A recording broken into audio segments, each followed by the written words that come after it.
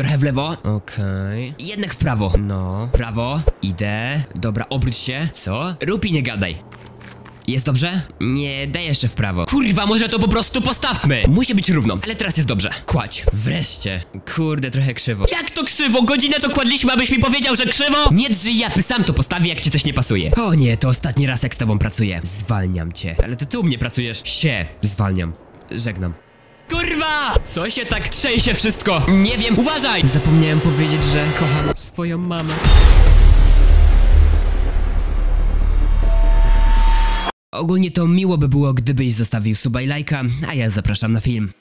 Kamień jest... Jaki? Chłodny i uszkodzony? Kurwa, pęknięty na pół. Ja wiem, że to może brzmieć nieintuicyjnie, ale masz. Co? No, użyj tego na kamieniu termicznym. O kurwa, ale jak? Narzędzia do życia mają 5 użyć. Jedno użycie naprawia 100% kamienia termicznego, który to psuje się przy maksymalnym rozładowaniu o kilkanaście procent. Narzędzia do szycia robimy składy jedwabiu i zębów. Typa! Huh? Walter tam biegnie. Eee, zatrzymaj się! Nawet nie wiecie jak się cieszę, że was widzę, ponieważ Dirklops, a no właśnie Dirklops, Boston przychodzi w nocy dnia 31 zimy. Kiedy usłyszysz takie dźwięki, to wiedz, iż niedługo zatupta po twoją dupę. Oczywiście przychodzi w każdą kolejną zimę, z tym, że wtedy nie wiemy, o której dokładnie nocy usłyszymy jego oddech. Pamiętaj, że podczas pierwszej zimy zawsze przyjdzie w nocy 30 dnia. Który dziś jest? 31. Czekaj, co? Czyli już się gdzieś pojawił.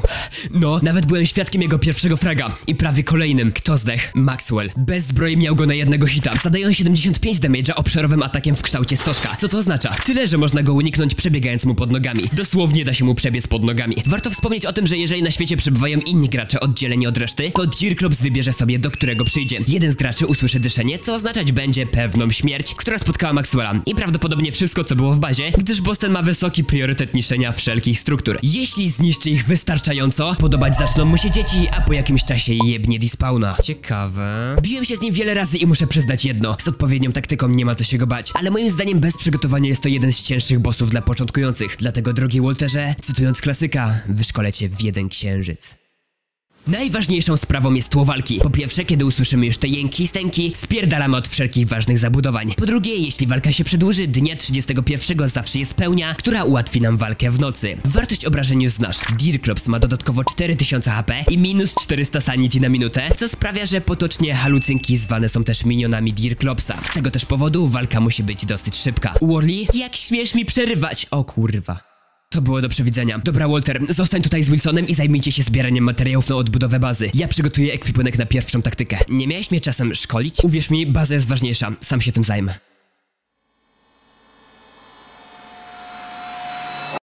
Omówmy pierwszą taktykę, pierwszą i najlepszą. Do jej wykonania potrzebujemy trzech kasków, trzech pierogów, hambata i zwykłego ogniska. Najpierw kaski.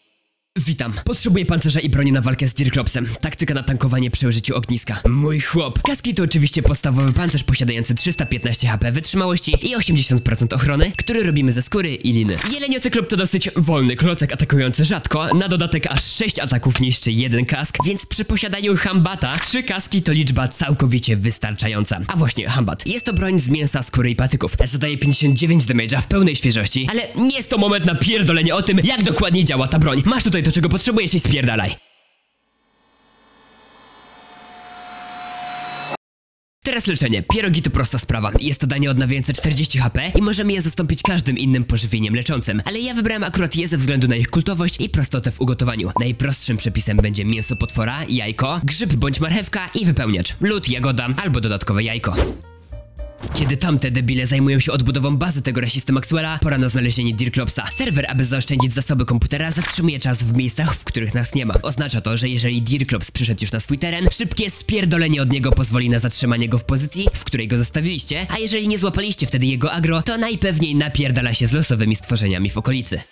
Pora na zrealizowanie taktyki na tanka. Stawiasz ognisko, które uniemożliwia zamrożenie cię przez jego atak. Zakładasz kask, hambata i łapiesz jego agro. Powoli podchodzisz do ogniska w taki sposób, abyście oboje wręcz się do niego przytulili. Pauza! Widzisz coś podejrzanego? Bo ja tak! Jestem za blisko Dirklopsa. Walkę rozpoczynasz zawsze z pełnym sanity, odnawianym na przykład spaniem albo pieczonymi kaktusami. Im bliżej jesteś tego kloca, tym więcej sanity tracisz. Dlatego też teraz jest lepiej. Kontynuując, stoimy i bijemy. Zniszczony kask automatycznie zostanie zastąpiony kolejnym. Jeśli dostaniemy już trochę po ryju, leczymy się naszymi zapasami w przerwie między jego atakami. Trzy pierogi, wydaje się mało, ale Boston ma tylko 4000 HP, co sprawia, że tankując go hambatem walka potrwa mniej niż minutę. Łatwa taktyka, łatwy boss. Ale cofnijmy się w czasie i powiedzmy sobie o drugiej taktyce, do której dokładamy Walking Kane'a przyspieszającego nas o 25%. Polega ona na wykonaniu 6 ataków oraz przebiegnięciu mu pod nogami albo łukiem przy jednej z nóg. Taka taktyka, mimo że bardziej pro, wymaga jednak czegoś do natychmiastowego odnowienia sanity, na przykład kaktusów, aby nie zjadły nas halucynki. Metoda ta jest zdecydowanie groźniejsza trwająca dłużej, dlatego jest gorsza od pierwszej, ale jeśli mamy dużo jedzenia leczącego sanity, unikanie ataków mocno oddaje. Istnieje jeszcze trzecia, pośrednia metoda. Deerclop schodząc niszczy drzewa, a każde powalone drzewo daje szansę na spawn drzewca, albo grupki drzewców, które posiadają parę lub nawet kilka tysięcy HP. Będą one bardzo złe na niego za niszczenie natury, co spowoduje walkę, a kilka takich drzewców wystarczy, aby powalić jeleniocyklopa. Taktyka ta wymaga najwięcej czasu, ale moim zdaniem jest najbardziej opłacalna. Nie dość, że zabijemy nasz cel, to jeszcze zetnie nam ogrom drzewa i zabije jakiegoś drzewca, co da nam żywe kłody, które to przydają się do ogromnej ilości przedmiotów. Okej, kiedy mamy już omówione moim zdaniem trzy najbardziej podstawowe metody na jego zabicie, przyszedł czas na drop. Po 30-sekundowej walce dnia 32 Deerclop został powalony. Jego drop to 7 mięsa i jego oko. Oko jeleniocyklopa. Chroncie je za każdą cenę. Jest ono wymagane do zrobienia parasolki, która jest najlepszym narzędziem na wiosnę i lato, ale o tym nie teraz. Pasowałoby pomóc tamtym karakanom z odbudową bazy Maxwella.